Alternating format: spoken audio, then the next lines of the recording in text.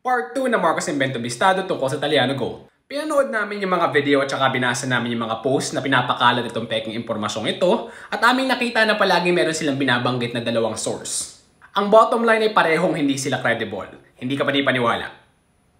Una ay isang artikulo. Ang kanyang pamagat ay Independent Confirmation of the Philippines Gold. O, di ba? Wrong grammar yung title. Nilathala ito sa US-based publication na Contact Phoenix Journal Review.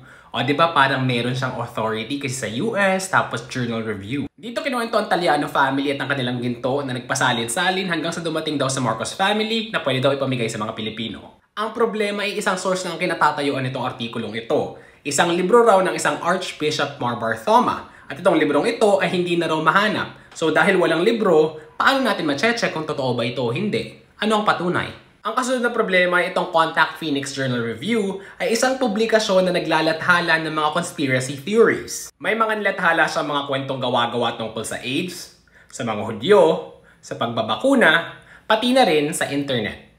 Pangalawa ay si Karen Hudes, isang former employee ng World Bank. Sabi nitong si Karen, meron daw tuneto niladang gintong nakapangalan kay Ferdinand Marcos. At sa pangalang Marcos lang daw pwedeng mailabas itong ginto at may pamigay sa lahat ng tao. Ang problema, isa rin siyang conspiracy theorist. Gumagawa siya ng kung ano-anong kwento. Alam niyo bang sabi ni Karen na meron daw ibang species ng tao na kumokontrol sa simbahang katolika? Ibang species ng tao daw. At nagpalabas ng pahayag ang World Bank. Sabi ng World Bank, oo, dati nilang empleyado si Karen Hudes. Pero isang babala. Kung ano man ang sabi-sabi ni Karen, huwag paniwalaan. Ano natutunan natin? Kahit na mukha silang credible itong artikulo at saka si Karen, kailangan natin magtanong na magtanong para malaman kung dapat ba silang paniwalaan. Sa pangako ng ginto, madaling mapaniwala, mahirap maging mapanuri. At para sa mga naniwala na, mas mahirap na umamin na nagkamali. Sino ba naman ang aamin na ang ginto pala ay hangin lamang?